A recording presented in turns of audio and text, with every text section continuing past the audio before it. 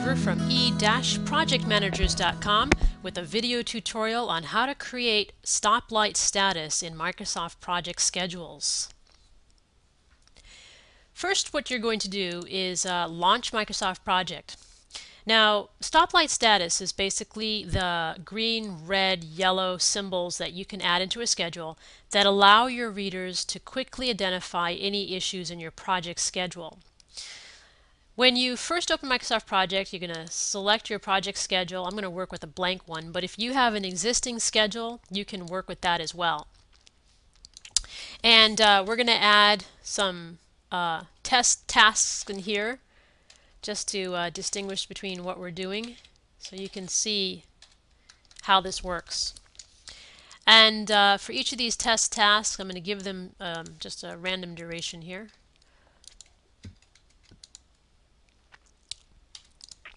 And uh, I'm going to change the date so that they uh, are tasks that might have started in the past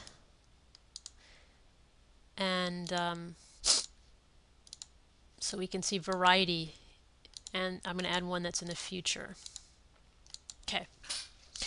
Now once you have your tasks and you have your dates in here, um, I want to I want to select a column, right click on it and select insert column I want to display the percent complete. If you scroll to the very top of the column definition, you can select percent complete and click on OK. Um, after percent complete is inserted, then what you want to do is um, let's we're going to create our stoplight status column by again selecting the column that you want the stoplight status to appear in front of and then right clicking and select insert column. This will be a numeric column, so if you type the, the letter N on your keyboard, it'll scroll to the N sections in the field name, and we're going to select number 1, since I know number 1 is not already used. And for the title, we're going to type in the word status. Click on OK. So here we have the status column. Now the next thing you're going to do is um, you're going to create a uh, custom formula for this column. How you do that is you select the column title, which highlights the whole column, right click and go to Custom Fields. When the Custom Fields dialog box pops up, you'll see that we are in um, the column number one, and we're going to add a formula to column number one by clicking on the Formula button in the Custom Attributes section. So I click on Formula, and the Formula dialog box pops up. And what we're going to do basically is we're going to use the project schedule fields, which are all the fields, all the columns that you see in Microsoft Project are considered fields. Microsoft Project also has a number of functions which you can use. And we're going to also use these command buttons that you see here to build a custom formula. It's really quite easy, so don't be uh, intimidated. But uh, if you click on function, I'm sorry, if you click on, yeah, function, and then go to general and select if expression. We're going to build this out of an if expression. The first expression we're going to build is, um, I'm just going to highlight the word expression because we're going to replace that with um, the fields and functions for the expression. So if you highlight that word expression, this expression is going to be replaced with um, the field finish date and percent complete. And what we're going to do is we're going to we're going to we're going to select finish date and we're going to check to see if it's less than or equal to today's date and whether or not the percent complete is not equal 100%. Because if the finish date is less than today's date and the task is not done, then we want to highlight that as red. So if, and we're going to select the uh, field finish date, so we go to date, select finish, and then we go over here to this button and select less than or equal to. So we're going to get rid of the space, by the way, between less than and equal to. So it's together like this. Um, if the finish date is less than or equal to today's date, which is another function, so we go to function, date, select date, okay, and we're going to click on the and button to put the word and in there. Percent complete, which is um, another field in Microsoft Project, so we go to field, select work, uh, I'm sorry, not work. We go to field and select, uh, let's see, where is percent complete? Hold on one second. It's under, here we go, under number. So if percent complete um, is not equal to 100, so we're going to type 100, then if that's true, this will turn red. And for us, um, 0 is green, 1 is yellow, 2 is red, and 3 is null. So on a separate piece of paper, you should write down right now 0 equals green, 1 equals yellow, 2 equals red, 3 equals null. Okay? So in this case, we're going to replace true because if the finished date is less than or equal to today's date and the percent complete is not 100%, then we want this to be red, which will be 2. Okay? Then it, if that's not true, then we're going to add another uh, expression here. We're going to go to function, select general, and enter another if expression. And we replace that false statement with if and another expression. So we're going to replace this expression with, uh, we're going to check the start date. And if the start date is less than today's date, less than or equal to today's date, and the percent complete is zero, that means a task hasn't started and it should have, then we want to flag that. We're going to make it yellow. So if start, we're going to go to field, go to date, select start, is less than, we're going to select less than from um, the command button here, less than or equal to. And again, we're going to get rid of the spaces that it puts in here. Uh, less than or equal to uh, today's date. Select function date. And, select and, percent complete, so we're going to field, um, let's see, I always forget where this is. Uh, okay, number, percent complete.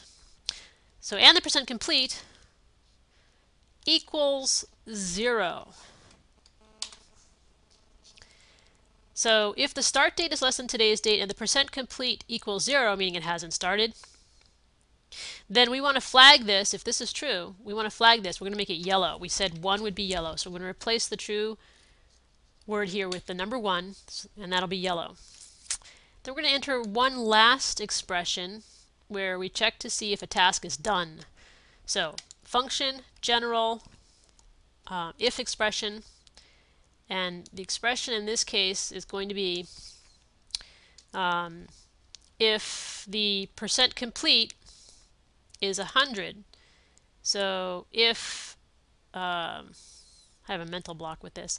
If percent complete uh, equals, and then you type 100, meaning it's done, then 3. And 3 we said is going to be null. We're not going to assign any graphical images to that. Um, else, the end condition for this, if they're all false, will be green. That means everything is okay. And green we said equals 0. So you type 0 and then click on OK.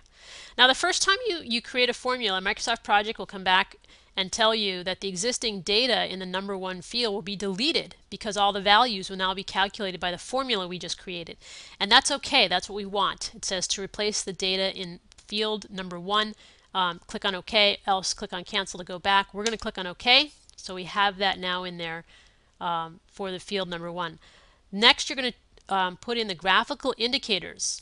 And how you do that is you click on Graphical Indicators command button, and we're going to assign a value and an image to each of the numbers that we um, mentioned in the formula. So if the output equals value of 0, we said that's green. We want the image to appear green. We're going to select the green smiley face. If the uh, value of the output equals 1, then we want yellow. If the value of the output equals 2, in the image column we're going to select red, is that. And if it equals 3, we're not going to select anything. And we'll click on OK, click on OK, and save. Okay, so here we are now. You can see the status column. Um, and uh, we're going to add some, some data in here. Let's just say if this is 50% complete, it stays red because the date has already passed. If, if um, this was 100%, notice it goes away because we said um, if it's done, then it's null and there's no image.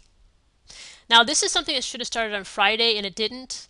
Um, if we change it to, I don't know, 12%, then notice it turns green.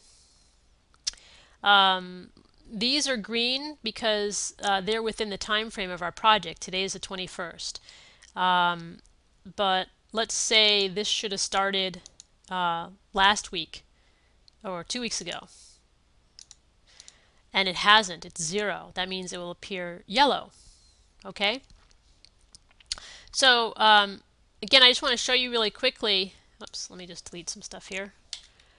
Um, what we are working with is there's a formula which is based on the fields in Microsoft Project. There's a finish field, there's a percent complete field, which we show in our project schedule. There's a start field that we show in our project schedule.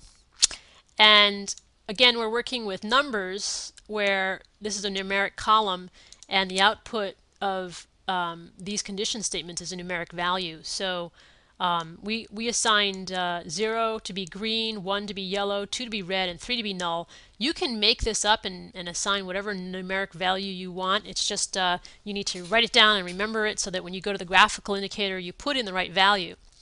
Um, so again, how you read this is, um, you know, if the finish date is less than or equal to today's date and the percent complete is not equal to 100, meaning it's the finish date is passed and it's not done, then it's red. That's what number two is.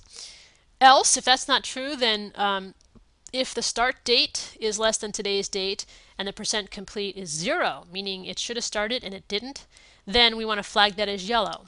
That's what number one is down here. And if the percent complete is is 100%, that means it's done, then we want this to be 3. And 3 is null. We didn't assign a graphical image to 3. Okay? Um, if it doesn't meet any of these conditions, it's green, which means it's good to go, and that's what uh, zero is. So this is this is how you add um, stoplight status. Uh, you know, it's very handy. Um, it really does help um, make tasks stand out.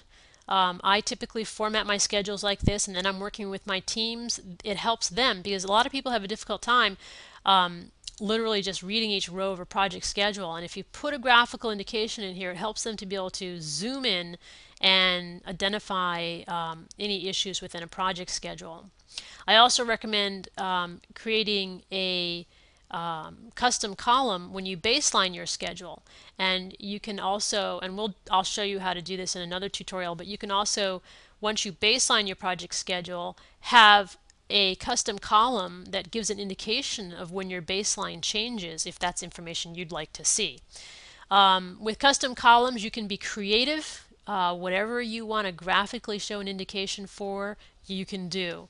Um, it's just a matter of knowing how to come in, go to the custom fields, and build a formula that works logically in the way that you need it to. And sometimes you might need to play with it a little bit to get it to work.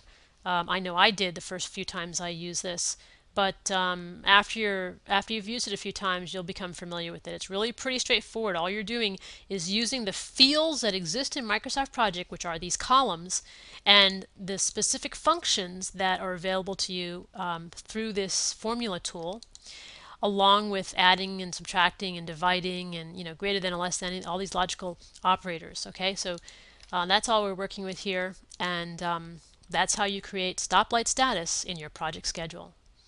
I hope this was helpful for you. Thank you for your time and have an excellent day.